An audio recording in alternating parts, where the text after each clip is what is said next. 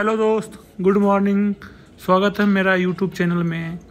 आज मैं आपको बताने जा रहा हूँ abrasion test of aggregate aggregate का अब्रासन टेस्ट कैसे करते हैं, आज मैं उसके बारे में बताने जा रहा हूँ। तो आप पूरे वीडियो देखिए तो आज अच्छी तरीके से इसकी डिटेल के बारे में जानेंगे टेस्ट कैसे करते हैं। ये आप जो देख रहे हैं, ये मशीन है। लॉस एंजलस मशीन है। इसी में आज टेस्टिंग करेंगे हम, ठीक है? इस मशीन के बारे में मैं अब बताने जा रहा हूँ। देखिए, इसका कितना है? ये इंटरनल रहा सेवन हंड्रेड एम एम है और इसकी लेंथ जो है वो फाइव हंड्रेड एम एम है, इनसाइड लेंथ, ठीक है? ये राउंड शेप में होता है, ठीक है? बाकी इसका कोड है तेईस छियासी। Part four. आप उसमें जाके देख सकते हो। इस मशीन के बारे में पूरे डिटेल्स में दिया हुआ है। हम यहाँ पर 20 एम mm का टेस्टिंग करने वाले हैं। तो आप देख सकते हो, इसमें हमने 11 गोले डाले हैं। ठीक है? 11 गोले हमने डाले हैं और पाँच के जी सैंपल लेंगे।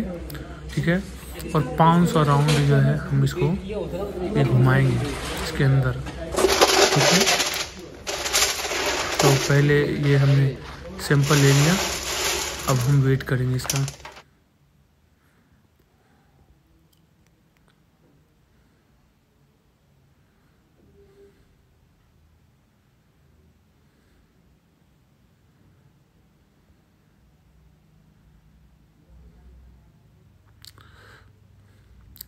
इससे वेट लेने से पहले हमने इसको सीविंग किया था।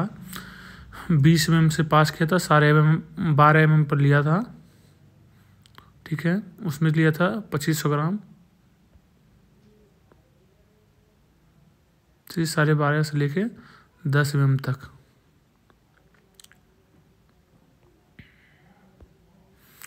पाँच के जी हमने ले लिया, टोटल सैंपल।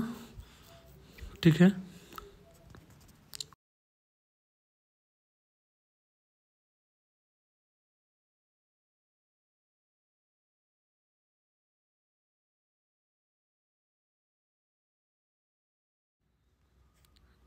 हमने हमने सैंपल भी डाल दिए पाँच के जी। बीस से पास करवाते हैं, साढ़े बारह पर रिटर्न करते हैं, उसमें लेते हैं हम कितना? ढाई के जी। फिर साढ़े बारह से पास करवाते हैं, फिर दस पर रिटर्न करते हैं, उसमें लेते हैं ढाई के जी। टोटल पाँच के जी लेते हैं। और ग्यारह स्फेयर जो है, हम लोहे का डालते हैं इसमें से। फिर टोटल पाँच सौ राउंड जो है, हम इसमें से घुमाएँगे। उसके बाद जो इसमें से क्रश होगा, फिर उस क्रश को हम क्या करेंगे? वेट करेंगे। पहले उसको सीविंग करेंगे। कितना? चलते हैं पहले, हम इसको घुमाते हैं, उसके बाद आगे आपको बताएँगे कि क्रश होने के बाद कौन सा सीव इसमें हम यूज़ करेंगे। तो यहाँ पर रोटेटिंग अभी पूरा नट जो है, इसका जो ढक्कन है कवर है, इसको हम पहले टाइट कर लेंगे अच्छी तरीके से, उसके बाद स्टार्ट करेंगे। तो अब ये टाइट हो गया। अब हम यहाँ पर क्या करेंगे? स्टार्ट कर दिया हमने। ये अब हमारा मशीन स्टार्ट हो गया।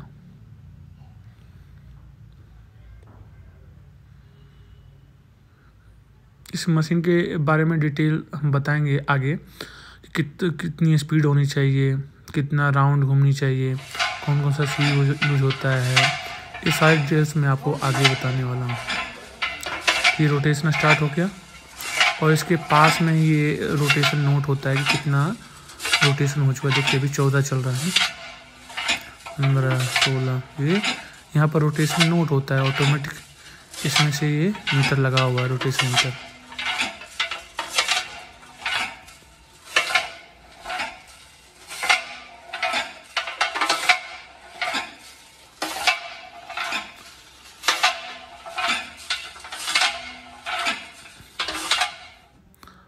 अब देखिए हमारा फाइव हंड्रेड कंप्लीट हो गया हो गया ना? अब फाइव हंड्रेड कंप्लीट होने के बाद अब हमने क्या किया? सैंपल को बाहर निकाल लिया। अब इसको हम क्या करेंगे? One point seven m m sieve से जो है, हम इसमें से सीविंग करेंगे, देखेंगे। मतलब छानने के बाद कितना सैंपल क्रश हुआ है। मतलब वो वन पॉइंट सेवन एम से जो पास हो गया है, उसका हम वेट कर लेंगे। और टोटल जितना हमने पाँच के जी डाला था उससे हम डिवाइड करने के बाद रिज़ल्ट आ जाता है। रिज़ल्ट जो है वो तीस परसेंट से ज़्यादा नहीं होना चाहिए। नॉर्मली ठीक है? तो यहाँ हम सेविंग कर रहे हैं। देखते कितना वेट आता है और रिज़ल्ट क्या आएगा। आगे।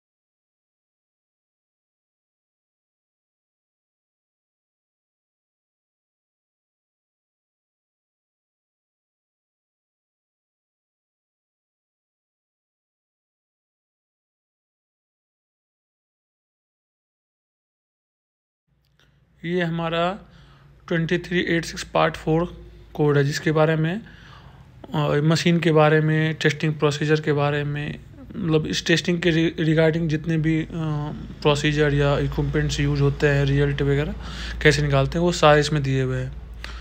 तो आप देखें तो इसमें जो हम आयरन के गोले यूज़ करते थे, वो कितना होना चाहिए? फोर्टी एट एम का डाया का होता है, और तीन सौ नब्बे से फोर फोर्टी फाइव ग्राम तक उसका वेट होता है। ठीक है? देखिए, इसका रिवोल्यूशन जो आपको मैंने बताया था twenty two thirty three revolution per minute A B C D के लिए। और पाँच सौ रिवोल्यूशन होना चाहिए। हमारा जो ये ट्वेंटी में है ये हमारा बी ग्रेड में है। ठीक है? उसके अलावा इसको हम ड्राई भी करते हैं, एक सौ क्रशिंग करने से पहले। 105 से लेकर 110 डिग्री सेल्सियस तक। इनको नॉर्मली चार से पाँच घंटे तक रखते हैं। ठीक है? उसके बाद ही हम सैंपल को यूज़ करते हैं क्रशिंग के लिए। ठीक है? तो ये हमारा कोड है।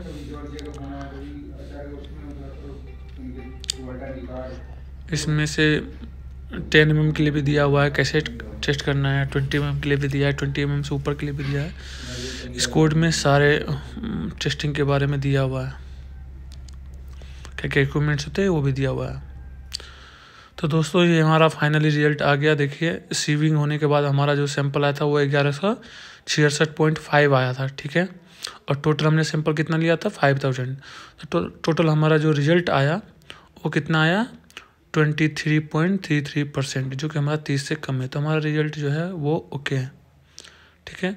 इसमें मैंने लिख भी रखा है सीप कौन कौन सा यूज़ करना है, कितना रिवोल्यूशन होना है, कितना स्वेयर डालना है।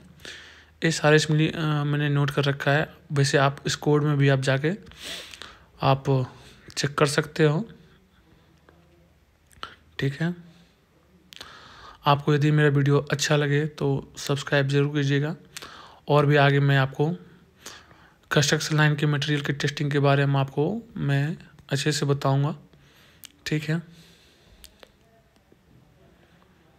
तो थैंक यू दोस्त।